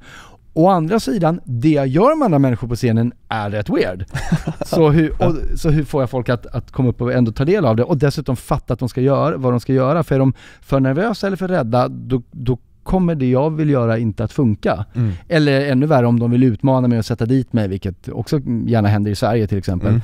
Eh, Men då har jag ett antal, ett antal tekniker för det som jag eh, av erfarenhet ut med så att jag vet inte hur överförbara de är i verkliga livet. Några av dem kanske är det. Men till att börja med så är det ju så att det bästa vore ju om jag från början kunde göra ett urval av vilka jag vill ha upp. För då skulle jag kunna ta personer som jag vet är hyfsat medgörliga. Mm. Men om jag skulle peka på någon så här, du, jag vill ha dig upp på scenen, då kommer alla tro att det är uppgjort i förväg. För det är den enda förklaringen folk har till det jag gör. Just det. Så att alla personer slumpas ju fram genom att jag kastar ut föremål, oftast en frisbee publiken. Fångar man frisbeen så kommer man upp på scenen. Okej. Och så bra frisbeekastare är jag inte så att jag kan pricka liksom en medhjälpare i publiken, ens om Ja. det funnits någon. Så det, men det betyder att jag har ju ingen kontroll över vem jag får upp. Okej. Vem det än är, så måste jag hantera den här personen. Och eh, några grejer jag gör är att jag, när de kommer upp så eh, hälsar jag alltid på dem. Och det gör jag för att, eh, och jag skakar hand, och det gör jag för att rent kroppsligen väldigt snabbt liksom gagea dem i liksom hur nervösa de verkar. Verkar de skaka? Eh, är de lite fladdriga eller är de liksom lugna? Var ligger, var ligger andningsrytmen liksom? Därför att är de lite nervösa, då vet jag att då kommer de bara höra en bråkdel av de instruktioner de kommer få. Mm. Och då kommer det gå åt helvete. Så, och är de lugna, då är det ju fine.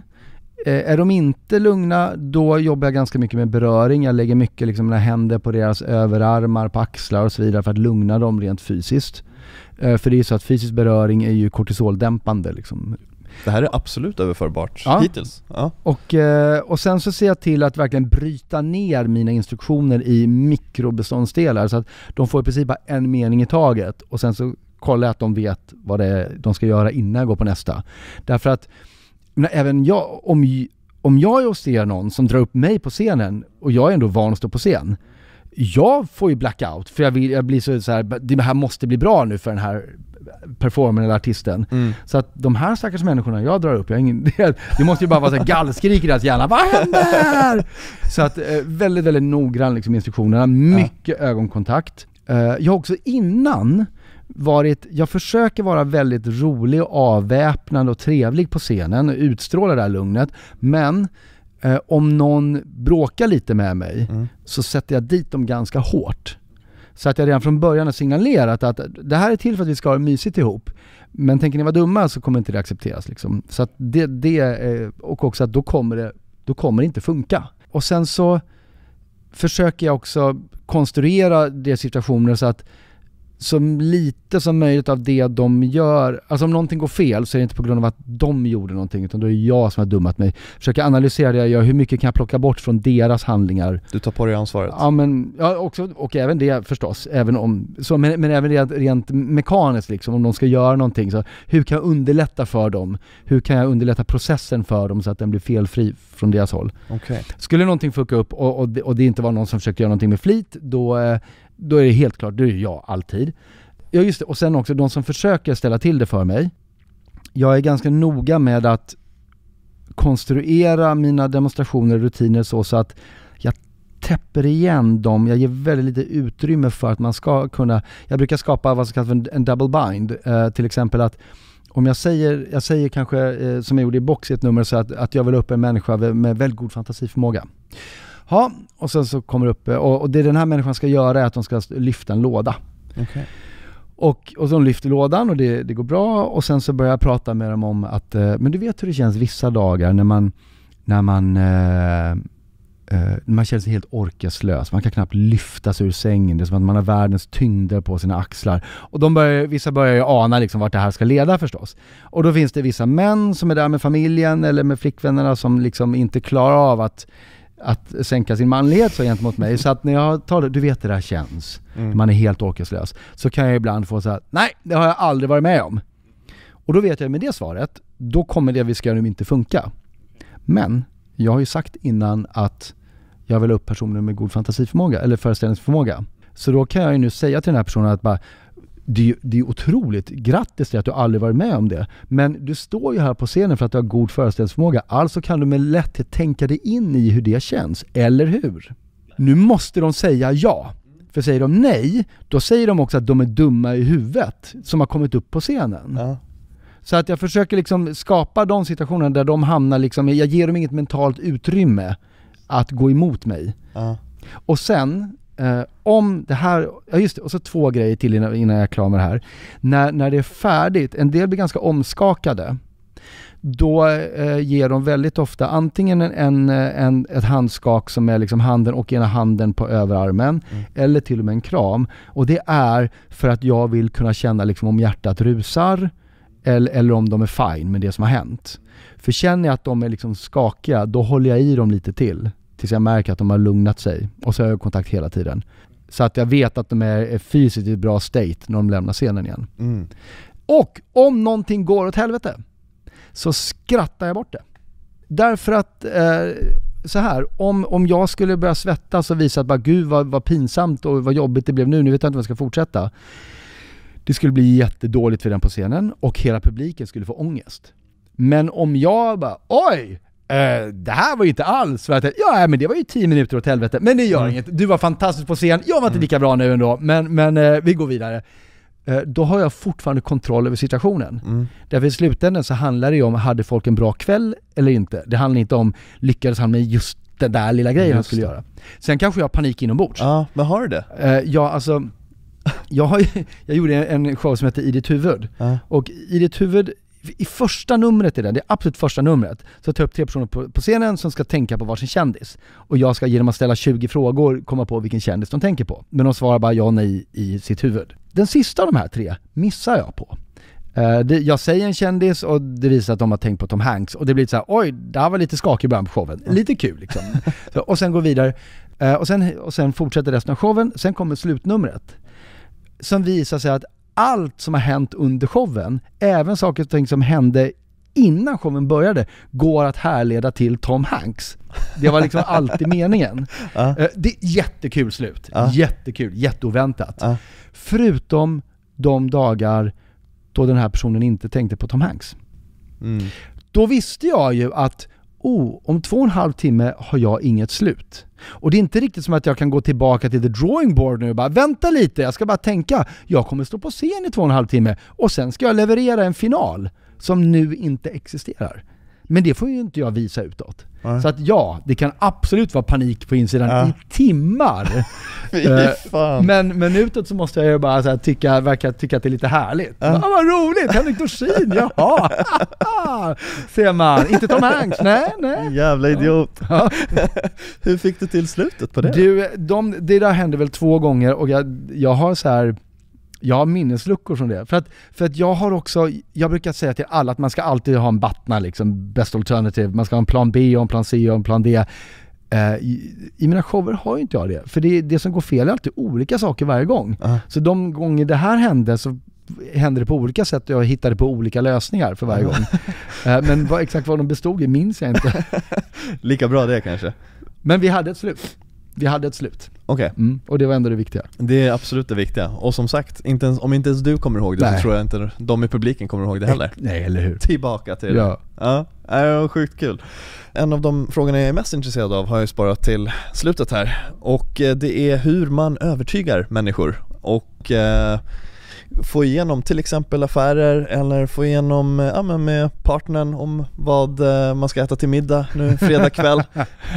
Jag behöver Fredag, lite det är väl tips. alltid taco va? Är det inte det? Nej det är inte det. Hon som, eh, hon som marknadschef för Santa Maria när de Ja. implementerar det här, hon var här faktiskt och berättade om hur hela resan gick till. Sjukt spännande. Ja. Nu känns det som att jag håller på att namedroppa massa gamla är tidigare gäster. Ja. Men det är inte taco, käkar du taco?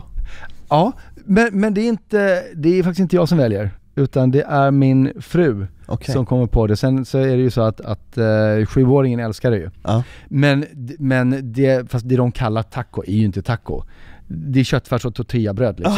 Ja. Så Och hon sa det också, jag Ja. bara 'Har ni varit i Mexiko?'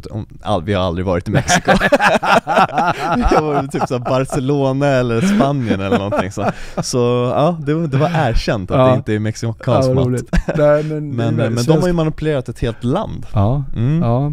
Så hur kan, vi man säga. manipulera enskilda människor? Vad är liksom eh, Ja dina men alltså, tips? ja men vad är syftet då? Du säger övertyga. Vi gör så här, syftet egentligen är att jag vill få till en riktigt bra deal till den här podden. Jag vill att eh, ett seriöst företag ska sponsra den här podden. Mm. Och det är en beslutsfattare jag har att göra med och ett företag i sig också. Eh, Mm. Men det är ju ändå människor man gör affärer med liksom. Mm.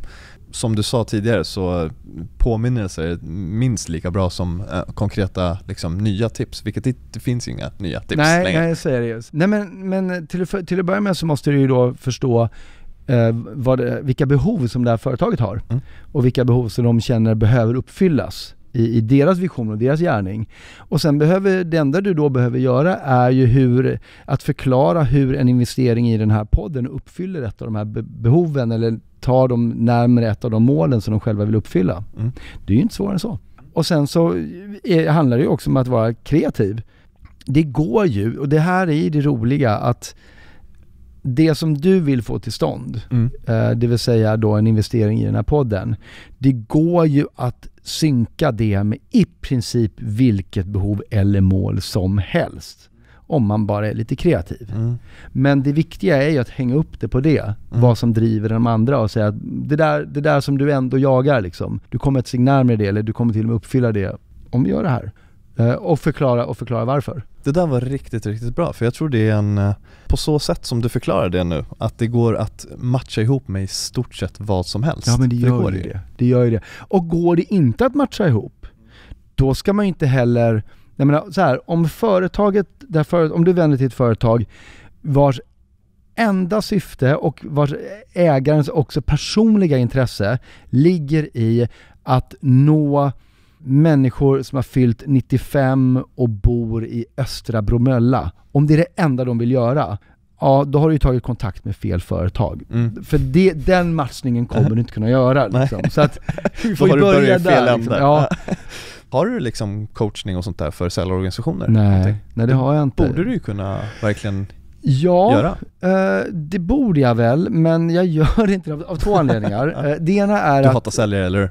Ah, tre, vi kan komma till en Okej. anledning. Nej men tre anledningar. Det, det första är att, att jag har inte tid. Mm.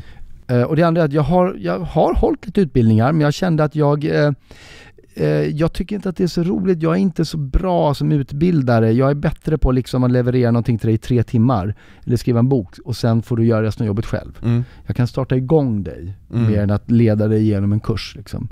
Men sen är det ju så att när man säger man har, att man hatar säljare, då, då, då tror jag att man menar just den här urtypen av, av krämaren, liksom, eller krängaren. Mm. Samtidigt, allting är ju sälj idag. Mia Törnblom menar ju liksom att, att du säljer dig själv hela tiden och det är ju också sant. Det handlar ju Mm. bara om hur vi definierar det här begreppet. Men den där första typen av sälj, den finns ju absolut också. Mm.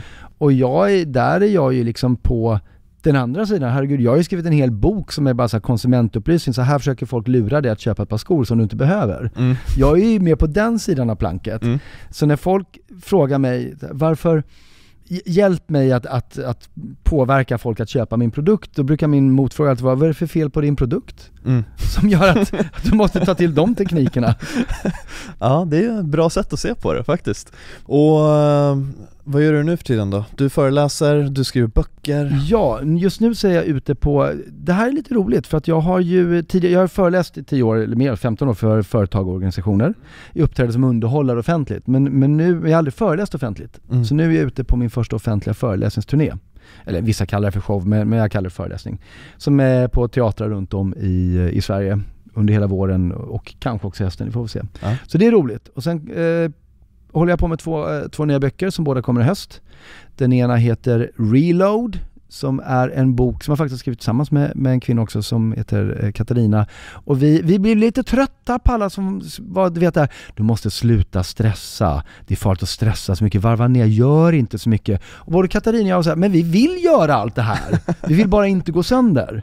Så det här är en bok som inte säger sluta stressa, utan det här är en bok som ger dig praktiska konkreta tips för att att återhämta dig fysiskt och mentalt så du har orken att göra allt det där som är kul att göra. Ja. Eh, Och sen så kommer det också då den, den avslutande delen i, mi, i mitt skönlitterära, lit- eh, mi- mitt fåfängeprojekt Sista illusionen som jag gör bara för att, för att jag tycker att det är roligt. Eh, Men kommer också i höst. Så att det, det är väl det.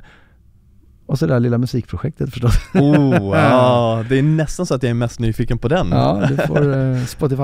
Jo, och vet du vad? Det händer en sjukt cool grej i år. Eller, eller två balla grejer. Det, det ena är att jag kommer göra någon form av, av turné, halvturné i Brasilien, verkar som i vår, för att jag, What? mina böcker går väldigt bra där. Eh, men i bokvärlden så är det så här att, att eh, man kan bli utgiven i en massa olika länder, det är roligt, men det finns ett land man aldrig blir utgiven i om man inte kommer från det landet och det är USA. Mm. För det finns ju så otroligt många författare där redan. Det finns undantag, några få skandinaviska skönlitterära författare, Camilla Läckberg och så vidare, har blivit utgivna i USA liksom, men det är verkligen undantag. Men! Eh, jag kommer med start i höst att bli utgiven på ett amerikanskt förlag. Och det är, för att vara non-American non-fiction writer, det finns inte på kartan. Coolt! Och jag, varför jag berättar om det här är för att jag har den här frustrationen över att det här är så stort, men det är ingen som förstår som inte är boka, hur stort det är. Och jag kan inte förklara det mer än att låta som en skrävlare. Så nu sitter jag och låter som en skrävlare. Men, men det är någonting som jag går omkring och ler över dagar i ända nästan. Att, att det, Det ska har man hänt. få göra när du kämpar så mycket och ger ut så mycket och det här är Jag sa innan till dig att jag ska ge dig lite cred här i slutet men du får den inte innan, innan Nej. slutet så det är kopplat till det här. Jag tyckte eh, i ett, när jag förberedde inför den här podden så såg jag att det finns så mycket innehåll från dig. Du har också en podd som, som du ger ut och har så många böcker och så. Böckerna visserligen så tjänar du pengar på det men jag har hört att man tjänar inte jätte, jättebra på böcker ändå. Men du har så mycket som du gör. Du ställer upp på den här podden vilket jag är jätteglad över och du ger alla dina bästa, bästa tips och det finns de som jag tror kanske tänker så här, "Ja, men jag vill inte ge bort för mycket för du kan ju komma till min, min Ja. det här eller det där. Ja just det, Eh, och så jag får jag 10 kronor till. Exakt, Ja. och jag tror inte att det håller och jag tycker du gör det på ett modernt sätt och det är så jäkla coolt för alltid och alla grejer som jag har läst på och sett och video och du är ju på Nyhetsmorgon också ganska ofta eh, så är det riktigt bra tips och tricks och Tack. sen så hörde jag precis innan vi satte igång så pratade vi lite grann Mm. Då sa du också att eh, du inför varje show, eh, eller efter varje show, kastar Efter varje ditt, färdig show. efter varje ja. färdig show Ja. så kastar du ditt material för att du inte ska kunna göra om det Mm. vilket bara liksom lades på här, så stort, stort grattis och grymt jobbat och Ja, jag är imponerad, Tack. verkligen. Coolt. Men, men jag tror, om jag får säga det bara, jag tror att det där du var inne på där Mm. med att nej jag vill inte, du får köpa min bok sen. Mm. Jag tror att, att det handlar om vilken grundinställning du har, om du, driv, om du gör någonting för att du ska tjäna pengar på det eller om du gör någonting för att du själv liksom brinner för det. Mm. Jag har en enda drivkraft och det är att det måste vara kul. Eh, Och tycker jag att någonting är roligt, då, eh, då brukar det funka och då delar jag gärna med mig av det så hoppas jag att andra också tycker det är kul. Mm. Um, det, jag beundrar de som, eller fascineras av de som drivs bara av, av pengar. Mm. Eh, men jag har själv aldrig förstått det. Men då tror jag det är lättare att fastna i den där att bara, Mm. nej men ja, du får köpa min grej. Eh, du får gärna köpa min grej också, men det var inte därför jag gjorde det liksom. Nej. Jag gjorde det för att berätta om det. Så att, Absolut. eh, tack. Ja men verkligen, och det, jag brukar ju ställa en sista fråga innan vi Mm. avslutar och jag tänkte att vi ska avsluta med några snabba frågor här Japp. innan du sticker iväg men den sista frågan kommer vara vad vill du ställa in? Ha. Och eh, ja, det är ju där, all, där allt som kommer jag den. berättar om då kanske. Men, Exakt, så den kanske du redan gjort. Ja. Då får du ställa in en tanke istället. Men vi kör några snabba frågor så ska du få springa iväg och ha en grym fredag. ja men tack detsamma. Om du fick eh, dela en flaska vin med vem som helst i hela världen, vem skulle det vara? Du får inte säga någon familjemedlem. Damn. Ehm, Jag måste byta ut den här frågan. För alla vill göra Ja. det. Ja, men det är för att ingen har tid att träffa sin familj längre. Jag tror det är det som är problemet. Um, och det här är den svåraste frågan som finns tycker jag.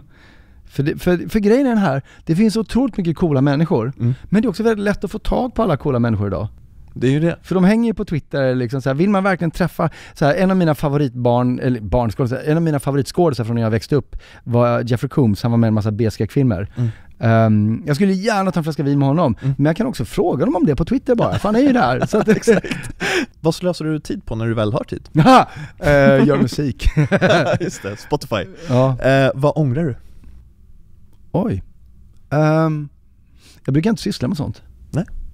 Vad är ditt mest minnesvärda telefonsamtal? Och du behöver inte svara snabbt, det är bara jag som ställer frågorna. Uh, mitt mest minnesvärda telefonsamtal. Eh, Jag kommer, jag kommer inte ihåg något telefonsamtal, men, nej, men det måste ju ha varit sådär när, när ehm, vad vet jag, eh, när, när min dåvarande hörde av sig och sa att hon var gravid första gången eller, eller eller när ett förlaget hörde av sig och sa vi vill ge ut din bok och jag var liksom Mm. in och ingen. Men jag minns ju inte de samtalen. Nej. Och eh, vad röstar du på? Eh, det kan jag ju då inte berätta eftersom jag sitter som eh, politi- inte politisk men, men analyserar eh, partiledarna i SVT. Just det. Så eh, kan jag ju inte låta folks idé om min politiska färgning påverka hur de hör vad jag säger. Det här är den jobbigaste frågan för alla som Men det sitter här. där är så intressant, för att i Sverige är det så här, prata politik, absolut. Mm. Men jävlar om du frågar vad jag röstar på, det har du inte med att göra. Och det är så konstigt. Ja det är jättekonstigt. Eh, Men årsinkomsten är officiell, det Ja. som man får av sin arbetsgivare. Men vad man röstar som påverkar resten av befolkningen, Nej, exakt. det är helt Nej, det är privat. Nej, så jag hade nog inte haft några problem med det, om det Nej. inte bara var för att jag just har haft det där uppdraget. Så. Jag fattar helt och hållet. Eh, hur firar du framgångar? Åh! Så, så mycket och så ofta jag bara kan. Ja. Jag tycker att alla tillfällen man har att fira är bra. Eh, man kan till jag höll ju till och med på, tillbaka till det här musikprojektet, när, när, då, när jag liksom ge, släpper fyra låtar på Spotify, vilket är en icke-händelse. Ja. Så var det så här, nu blir det releasefest! Där, och sen i det fallet lugnade jag mig, det blev ingenting till slut. Men, och jag tycker gärna man ska fira förskott. För problemet är att fram, det är sällan det är sådär, när är det man ska fira? Är det när man har skrivit ett avtal? Är det när det har kommit in pengar på banken? Det när en produkt är färdigtillverkad? Vad är liksom the big moment? Mm. Och risken är att man väntar och så blev det inget. Stort problem för många. Ja, så att fira jämt. Och eh, fira utan anledning, det är den bästa. Mm. Det är tisdag! Champagne! alltså den är mycket roligare tycker jag. Ja, så alla som hör klart på det här ska gå hem och fira någonting som de har gjort under dagen Ja. kan vi ge som tips då. En klapp på axeln, om Eller inte hur? annat. Ja. Och så ska du få sista frågan då. När gjorde du bort dig rejält senast? Ha! Eh, oj, ja. Nej men alltså, jag tror vi, här kommer vi tillbaka till det här med att ångra. Jag vet inte, alltså så här. Misslyckanden är ju bara någonting som sker om du talar om att de sker. Om du säger att jag har misslyckats så tänker andra att du har misslyckats. Mm. Eh, göra bort sig är någonting som kanske bara eller ja det är klart man kan säga att jag har gjort bort mig och då tänker de han har gjort bort sig. Och folk kanske, men jag brukar aldrig tänka att jag gör bort mig. Eh, ibland tänker jag att det blev inte som jag hade tänkt mig. Mm. Sen kanske andra tycker att jag har gjort bort mig i något sammanhang, men det skiter jag fullkomligt i, så det har jag ingen aning om. Så bra. Så ingen har misslyckats någonsin? Nej, om de inte har talat om för alla sina kollegor att, att de har misslyckats, för då blir det ju en sanning. liksom. Man kan bara förlora om eh, man avslutar matchen liksom. Ja men exakt så. Så är det ju. Annars har du bara resultat. Och vad vill du sälja in då? Kom gärna och se min, min föreläsning som heter eh, Lås upp dina sociala superkrafter. Det finns eh, biljetter och städer och turnéplan på en hemsida som heter atikko.se. A-T-I-K-K-O. Atikko.se. Den är asrolig. Mm. Och eh, förhoppningsvis får man med sig lite pointers och ta med sig tillvaron också. Sjukt bra. Jag tycker verkligen ni ska göra det och sen så lyssna på hans låt och eh, köp böckerna som finns Köp i alla böcker i alla språk. Alla språk, även på engelska för er engelsktalande ja. nu. Och sen så finns du också på LinkedIn och connecta med. Jag finns på LinkedIn och jag finns på eh, Instagram och på Twitter och på eh, Youtube och, och, och, och jag har även en, en mailadress på min hemsida. Jag svarar, om jag inte svarar så är det för att jag råkade tappa bort den frågan. Annars så svarar jag alltid förr eller senare. Så att eh, Mm. Tack igen för allt content och innehåll som du ger oss och Tack att du själv. var här och eh, ha en fantastisk helg och Detsamma. kväll och allt möjligt så Ja. hörs vi en annan gång. det gör vi. Ciao! Hej! Yes, det där var avsnittet med Henrik Fexeus. Stort tack till honom och stort, stort tack till dig som lyssnat. Det värmer något enormt och tycker du om podden så får du jättegärna gå in på iTunes och ge oss fem stjärnor och skriva en fin kommentar. Och vill du följa oss på Instagram så heter vi Loungepodden och LinkedIn likaså. Och där heter jag Taima Skafari. Det kommer komma några extra avsnitt under året här, så det är inte bara torsdagar, det kommer komma några extra avsnitt, främst på måndagar. Prenumerera på den här podden, vare sig det är på Podcaster eller iTunes eller Acast, så får du ett litet pling i mobilen varje gång ett nytt avsnitt kommer ut. Så får du ha en riktigt grym dag och vecka, så hörs vi nästa gång.